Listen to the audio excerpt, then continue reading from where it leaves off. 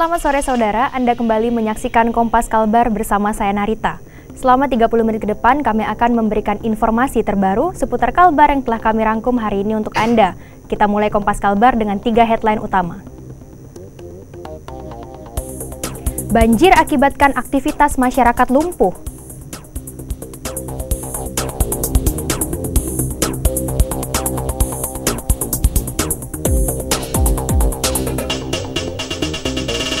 Delapan puluh satu TKI ilegal dideportasi.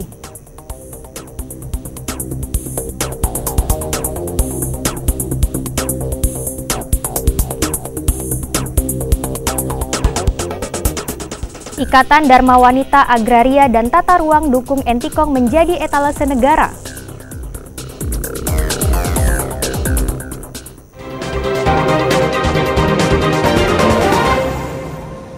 Saudara kita ke berita utama. Sebanyak 1.856 rumah warga di dua kecamatan di Kabupaten Kuburaya terendam banjir hingga setinggi 2 meter. Akibatnya, aktivitas masyarakat lumpuh total sejak sepekan terakhir. Hujan yang terus-menerus terjadi sejak pekan lalu menyebabkan banjir yang menggenangi rumah warga di Desa Teluk Bakung dan Pancaroba, Kecamatan Sungai Ambawang, serta Desa Kebupadi dan Reto di Kecamatan Kuala Mandor B. Banjir telah menggenangi 1.856 rumah di dua kecamatan hingga mencapai ketinggian 2 meter. Kondisi ini mengakibatkan aktivitas masyarakat setempat yang kesehariannya bekerja sebagai petani lumpuh total. Tidak hanya itu, sejumlah siswa juga tidak dapat bersekolah karena akses jalan menuju sekolah juga turut terendam air. Banjir yang terjadi juga mengakibatkan warga kesulitan mendapatkan akses air bersih, serta serangan penyakit gatal-gatal akibat genangan air yang sudah terjadi selama sepekan ini. Kalau sejauh ini Bu sudah ada yang diare, ada yang? Belum ada sih, cuma badan tuh gatal-gatal ada. Oh, badan gatal-gatal ya. Mual-mual gitu. bukan belum dievakuasi karena sementara kan warga masih berupaya nih anak usaha sendiri masih bikin apa parak-parak lah tuh nah, ah. jadi mungkin belum tentunya banyak sekali aktivitas orang itu semuanya. Berarti anak-anak sekolah apa ya? Tak sekolah, libur. Warga mengaku masih bertahan di rumah mereka karena belum mendapatkan lokasi untuk mengungsi. Warga khawatir air akan terus meninggi mengingat hujan masih mengguyur empat wilayah tersebut. Dion Setiawan, Kompas TV Pontianak. Sementara itu, Badan Penanggulangan Bencana Daerah Kabupaten Kuburaya menyalurkan 50 paket bantuan awal bagi korban banjir. Kondisi air yang cukup tinggi membuat tim sempat kesulitan memasuki kawasan rumah warga yang tergenang. Wakil Bupati Kuburaya Hermanus melakukan tinjauan ke lokasi banjir yang terjadi di dua kecamatan, yaitu Sungai Embawang dan Kuala Mandor B Jumat siang lalu. Dalam kesempatan itu Hermanus juga menyerahkan langsung bantuan berupa mie instan dan sejumlah bahan makanan. Sebelumnya proses pemberian bantuan tidak berlangsung mulus sebab air yang menggenangi rumah warga setempat membuat tim kesulitan untuk mencapai lokasi sehingga terpaksa menggunakan perahu dengan ukuran lebih kecil. Uh, untuk sementara kita siapkan 50 paket. Uh, 50 paket itu bermacam-macam dalam satu uh, satu paket itu bermacam-macam isinya artinya 50 paket. Jadi kita uh, minta kepada relawan untuk memberikan bantuan ini kepada warga yang benar-benar membutuhkan dulu. Sekali lagi pemerintah juga dalam hal ini tentu sebagai wujud keprihatinan kita bersama-sama dengan anggota dewan kemudian juga dengan Muspika Kecamatan Kuala Mandur Bait uh, turun di lapangan untuk kita bisa melihat secara langsung bagaimana kondisi yang terjadi. Tak hanya memerlukan bahan makanan, warga juga mengaku memerlukan bantuan berupa obat-obatan, mengingat dampak banjir yang mulai menimbulkan penyakit. Banjir di dua kecamatan di Kuburaya sudah terjadi sejak Senin lalu. Banjir mengenangi empat desa akibat curah hujan yang tinggi dalam beberapa hari terakhir. Dion Setiawan, Kompas TV Pontianak. Dewan Perwakilan Rakyat Daerah Kuburaya meminta provinsi dan pusat turun tangan atas bencana banjir yang terjadi di Kuburaya. Sebab sejauh ini banjir sudah cukup mengganggu warga serta aktivitas belajar mengajar siswa. Menanggapi musibah banjir yang terjadi di Kabupaten Kuburaya, jajaran DPRD Kabupaten Kuburaya berharap pemerintah provinsi turut turun tangan. Sebab banjir yang sudah berlangsung cukup lama ini sudah mulai menimbulkan dampak cukup serius, di antaranya dengan mulai menyebarnya wabah penyakit.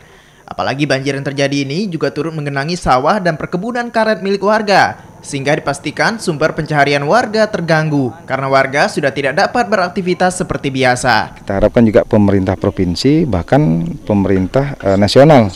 Karena kita lihat bencana ini bukan lagi bencana tingkat lokal tapi juga uh, bencana yang bisa kita kategorikan bencana tingkat nasional. Oleh karena itu uh, kita harap juga ada perhatian serius dan perhatian khusus dari pemerintah daerah provinsi maupun pemerintah pusat Begitu juga dalam hal bantuan kita harapkanlah eh, para pemerhati lingkungan ataupun pihak dermawan lainnya eh, minta spontanitas juga membantu eh, kerelaannya untuk membantu bencana banjir ini. Banjir di Kabupaten Kuburaya juga turut menggenangi rumah ibadah serta sekolah. Padahal siswa sekolah dasar sederajat sudah harus mengikuti ujian nasional serentak Senin ini. Dion Setiawan, Kompas TV Pontianak. Terjaring razia petugas karena tidak memiliki dokumen resmi. Selengkapnya tetap bersama kami.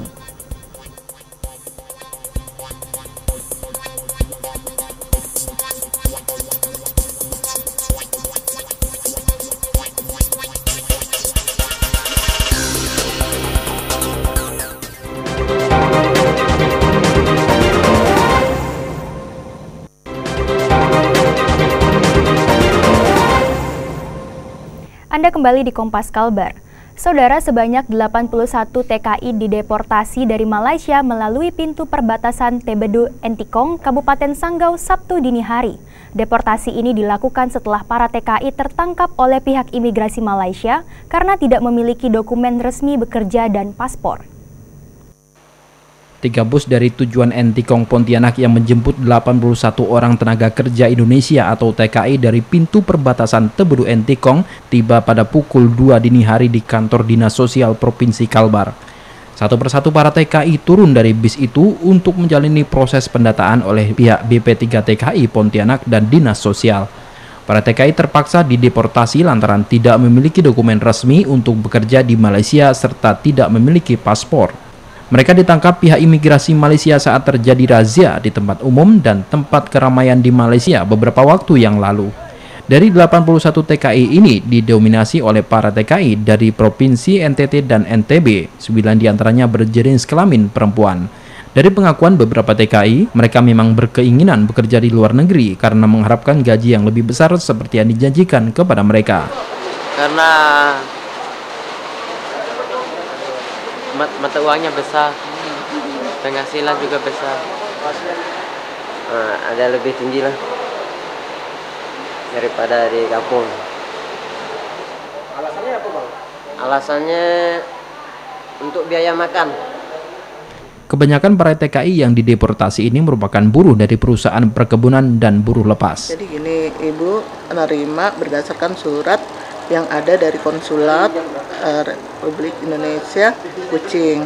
Uh, itu perihalnya mohon bantuan pemulangan 81 orang WNI dari Jabatan Imigrasi Malaysia Negara Sarawak. Deportasi imigrasi Malaysia uh, Semuja. Nah, jadi dengan kedatangan inilah baru ibu terima untuk uh, bahan ibu Selanjutnya 81 TKI ditampung oleh Dinas Sosial Provinsi Kalbar sebelum dipulangkan ke daerah masing-masing. Agung Widura Kompas TV Pontianak.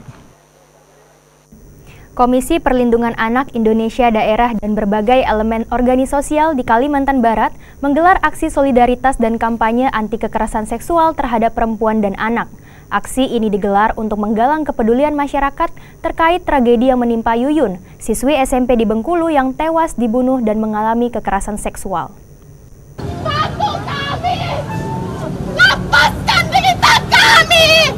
Perempuan menjerit dan meminta tolong ini adalah aksi teatrikal yang dilakukan oleh kelompok dapur teater kota Pontianak atas tragedi yang menimpa Yuyun, siswi SMP di Bengkulu yang tewas dibunuh dan mengalami kekerasan seksual. Teatrikal dengan tema Stop Kejahatan Seksual Terhadap Perempuan dan Anak di Kalbar tersebut mengawali aksi solidaritas dan kampanye memerangi kejahatan seksual terhadap perempuan dan anak yang digelar oleh Komisi Perlindungan Anak Indonesia daerah Kalimantan Barat di lokasi Car Free Day, Jalan Ahmad Yani, Pontianak, Minggu pagi. Selain menggelar aksi teatrikal, aksi solidaritas juga menandatangani spanduk memerangi kekerasan dan kejahatan seksual terhadap anak. Tragedi tewasnya Yuyun kembali mengingatkan dan membuka mata Indonesia untuk menoleh pada kasus kekerasan dan kejahatan seksual terhadap anak yang hingga saat ini terus terjadi. Kisah Yuyun merupakan satu dari jutaan kepingan potret kejahatan seksual yang marak terjadi.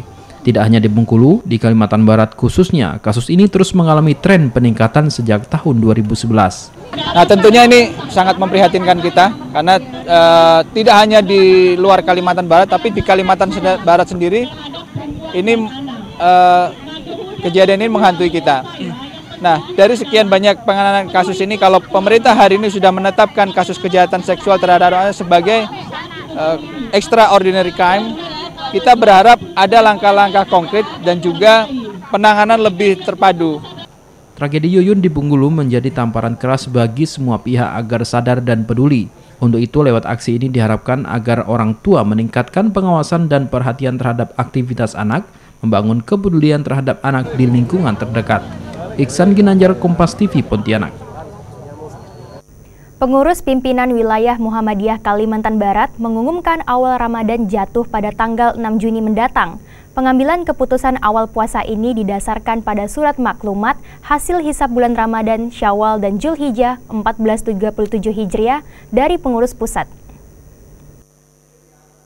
Pengurus pimpinan wilayah Muhammadiyah Kalimantan Barat mengumumkan awal bulan Ramadan tahun 1437 Hijriah jatuh pada tanggal 6 Juni mendatang. Penetapan tanggal ini didasarkan pada surat maklumat dari pimpinan pusat Muhammadiyah tentang penetapan hasil hisap Ramadan Syawal dan Zulhijjah tahun 2016. Di mana sebelumnya pimpinan pusat Muhammadiyah sudah melakukan hisap hakiki wujudul hilal yang dilakukan oleh Majelis Tarjih dan Tajdid pada bulan April lalu. Hasilnya pengurus pimpinan pusat Muhammadiyah menetapkan telah melihat bulan baru yang muncul di atas ufuk sesuai dengan yang telah ditentukan.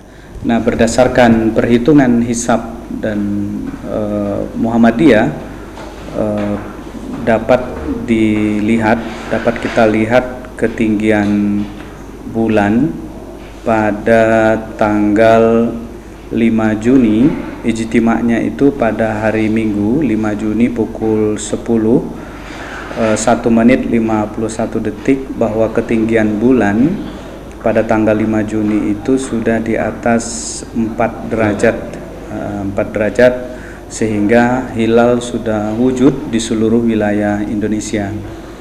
Selain menetapkan satu Ramadan, berdasarkan surat maklumat itu pula turut diumumkan bahwa penetapan bulan Syawal 1437 Hijrah bertepatan dengan tahun 2016 Masehi jatuh pada tanggal 8 Juli mendatang. Terkait hal ini, pimpinan wilayah Muhammadiyah Kalimantan Barat mengaku sudah melakukan koordinasi dengan pemerintah baik tingkat pusat maupun daerah. Meski demikian ditegaskan jika pun nantinya penentuan awal bulan Ramadan ini akan terjadi perbedaan dengan penentuan oleh pemerintah, Muhammadiyah tetap mengedepankan koordinasi guna menjalin hubungan yang harmonis sesama umat. Agung Widura, Kompas TV, Pontianak. Ikatan Dharma Wanita Agraria dan Tata Ruang dukung Entikong menjadi etalase negara. Selengkapnya tetap di Kompas Kalbar.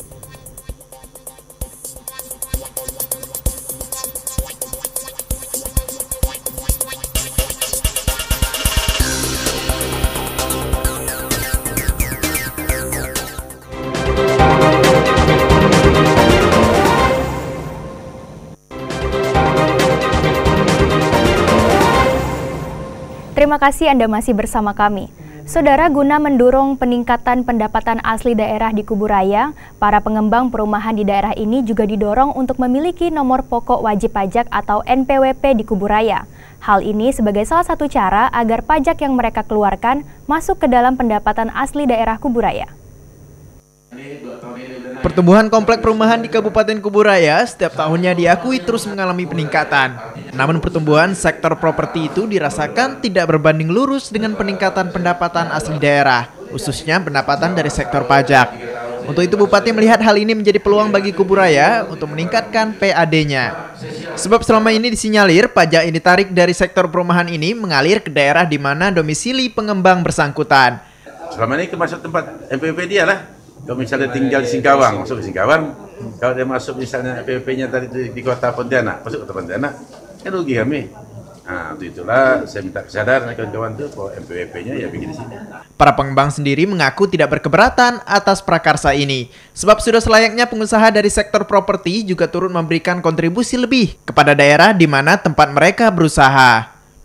Sangat baik dan sangat ideal kalau seorang pengusaha yang mencari rezekinya di Kabupaten Kuburaya untuk membuat NPWP di Kabupaten Kuburaya karena ini adalah salah satu cara agar PAD kita itu tetap terdongkrak sehingga untuk pembangunan infrastruktur lebih cepat membangun.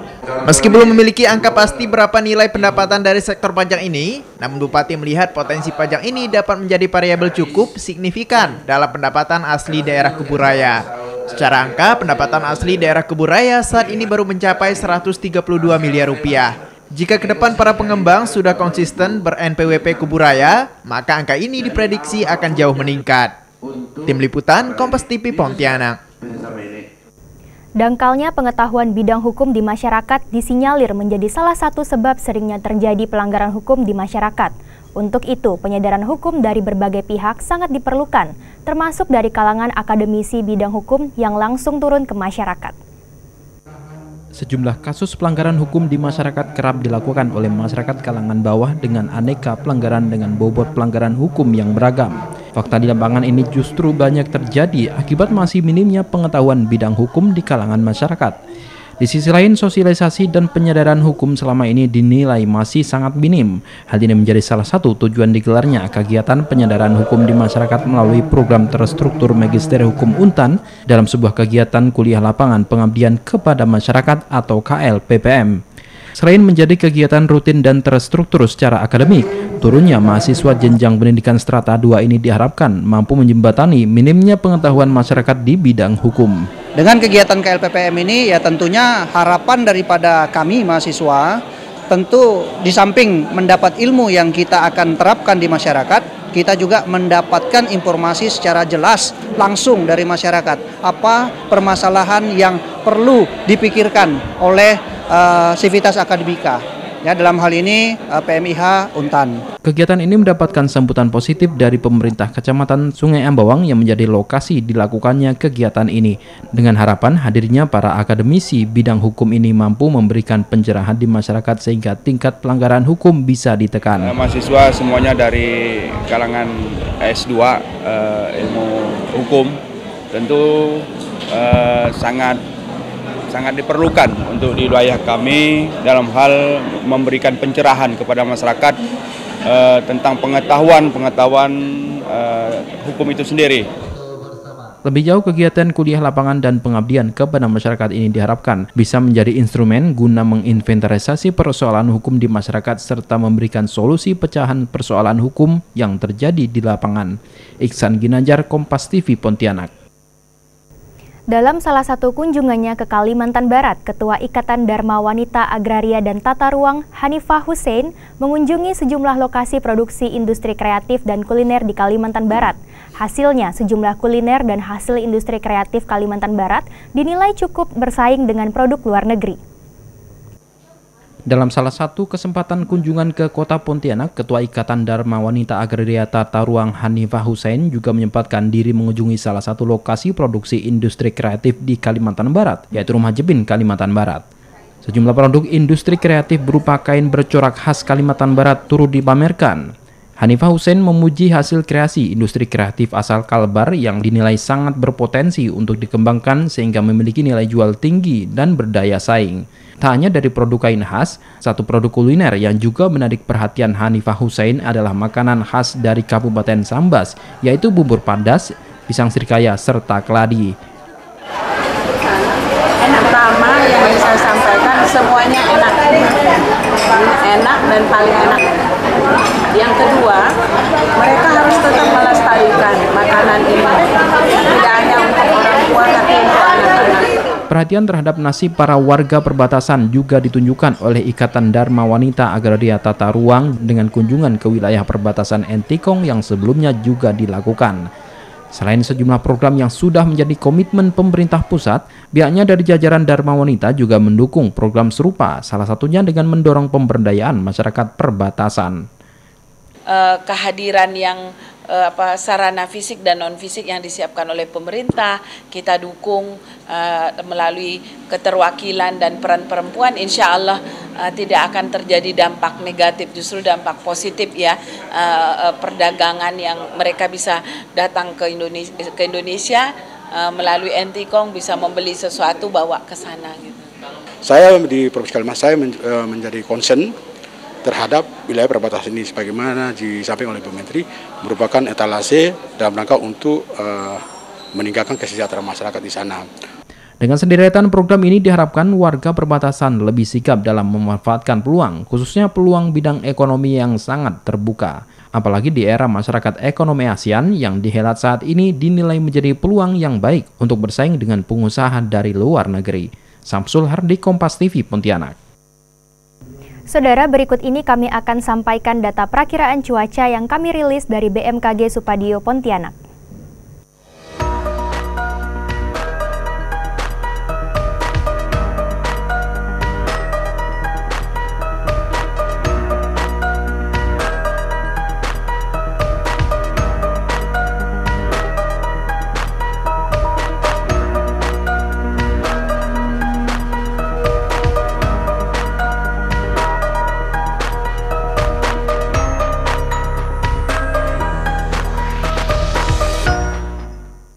Berita perakiraan cuaca tadi sekaligus mengakhiri perjumpaan kita sore hari ini. Saya Narita beserta kru yang bertugas mengucapkan terima kasih atas perhatian Anda. Selamat sore dan sampai jumpa.